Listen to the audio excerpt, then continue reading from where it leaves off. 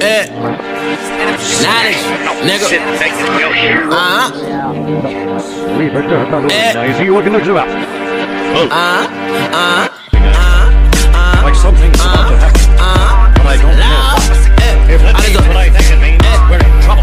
It's gonna go to fucking- Enemy is bananas, as you say. Please pay attention. taking any chances. You're just Nah. My confidence is low. I am no rap guy. Rap guy. of another location you can drop in Call of Duty Blackouts Blackout.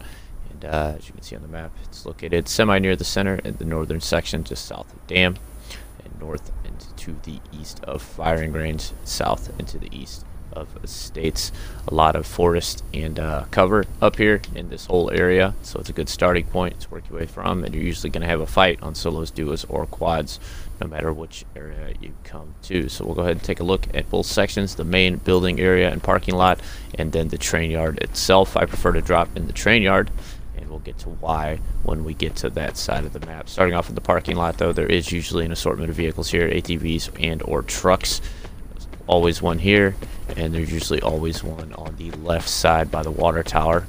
Uh, keep in mind you are very vulnerable late in the game to snipers on the hilltops to the north, so be very, very careful. You're going to have to utilize that cover in and around train station in order to be successful. Somebody with a, an outlaw up there and a sniper scope is going to make quick work of you and your team if they are a good shot. As you can see, the truck did spawn here. On this side of the train station, there's access to the train tracks and the tunnel to hide in down there. You can't go through that tunnel though, um, so don't waste your time following the train tracks the other way. You'll end up at a bridge that crosses the river, which you can utilize to uh, go through this mountain, and you'll come out here, and the train tracks will actually go all the way down through the bottom of the playable area of the map to here, where they will end. Um, so it's a viable route and an alternative if you have a vehicle uh, other than using roads. However, you're putting yourself in a lot of danger um, as you run through there. We won't start here at the walkthrough. We're going to go back to the front side so we can do this in order. And we'll take a look at the main train station building over there. And uh, there are a couple side buildings pretty close. Offer you a little bit of loot. A backpack and a pistol isn't a bad start. Could swore I heard a vehicle running. Makes me think somebody's in here with me. But uh, it just says I'm in here alone. I'm able to do this by just starting my own custom game and coming in and exploring the map pre-deployment. And uh, everything has already spawned in. These little shacks offer you nice cover when approaching teams from the hill. Usually you're able to uh, surprise them very efficiently. It's not easy to spot people through windows in blackout. It could be a little easier, I must say, especially if the window is not broken. Sometimes it's hard to keep their see their shadow behind, but on the other hand, it offers you a good tactical gameplay addition uh, for those of you that like to play in a realistic fashion. The outcropping buildings aren't going to hold much, but they are going to hold enough to maybe take the location if you drop in solos and play carefully. You can find loot in that opposite side building. This building and the tower sometimes has some gold guns once in a while, and or an assault rifle. See if there's one in there. Nope, little 50 cal. If I had a paladin, that would come in handy. And some armor. So just on the side buildings and a trauma kit, I was able to get pretty, uh, pretty suited up for a decent fight to take over the train station. I guess if I was, I'd have a trauma kit, armor, and a automatic shotgun which uh, is pretty lethal in the right hands, can make quick work of another team. Scattered around the outside of the main building, there is also going to be loot on the ground, like so. And sometimes you might get lucky like that. Find yourself a really powerful weapon to uh, take over this location. There's several ways in and out. Um, and we'll go inside in just a minute. Pay attention though, as you can make entry from the top. Um, anybody who's played this game for more than a couple minutes, uh, apparently to be able to jump up to that top right there and get through pretty easily. You can jump up from all of these little spots right here, like so, and uh, make entry through the top window. So not the easiest place to hold down, but there are some chips and tricks once we get inside there. We'll take a look at them on the opposite side of the building. More guns. Got some submachine guns and uh, extended barrels, a couple of attachments. There's not going to be usually much here. Occasionally, armor will spawn right here. Uh, if you're playing this on Xbox One, it seems to be um, pretty pretty random, but also pretty proficient at being there. I would say 1 in 10 games. There's going to be a level 3 armor sitting right there. Around the front side, there is a main door, of course, that's going to lead you in under the awning and the docked train. There's also these side rooms here that lead to the restrooms that you can get in behind your opponent if you need to and surprise him from the side. There's an upper window there and the one we went through right there.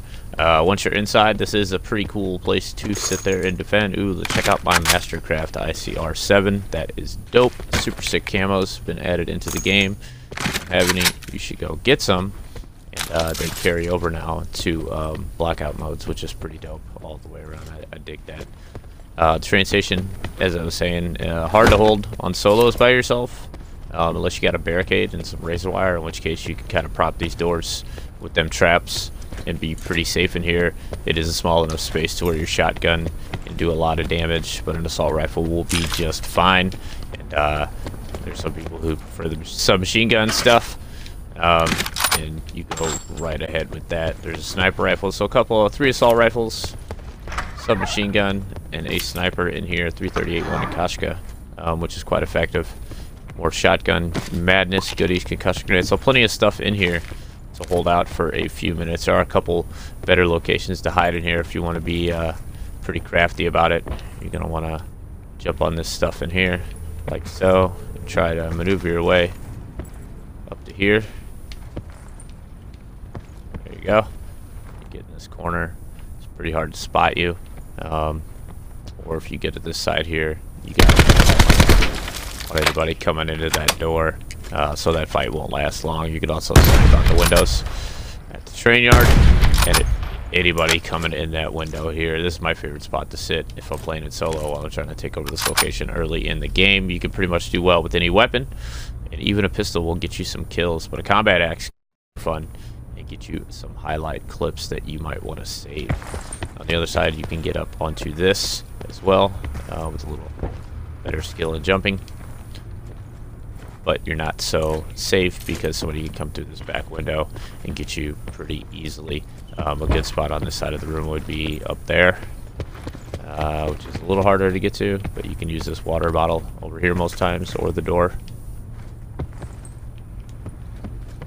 And same idea as the other side, you have shots down on that door there, and uh, shots also on the front doorway. Both upper windows are accessible from the outside, as I stated. You can also hang out up here if you want. If you have a good weapon early on and people are running around looking for loot, this is a very, very powerful position to sit there and just pick them off as they go through these train cars because they're going to and they're going to line themselves up almost perfectly for a sniper shot. You'll be able to down them or kill them really, really quick. Uh, move on for the main building. We'll go to the main platform where the red dock train is. The train holds a lot of loot. Um, although you're going to have some competition as you run through here. People are usually going to be shooting you pretty quickly, and uh, you're not going to have a lot of time to yourself to just sit here all day. So make it fast, just sprint up and down, grab what you want as you go, and get to the other side as quick as possible on the opposite side of the platform. There's also a lot of loot. A lot of this is going to be high-level loot or attachments, so you're going to want to make a pass through here before you leave just to grab what's left. Even if it's seconds, cleaning up after somebody else who looted here, you're usually still going to find good stuff.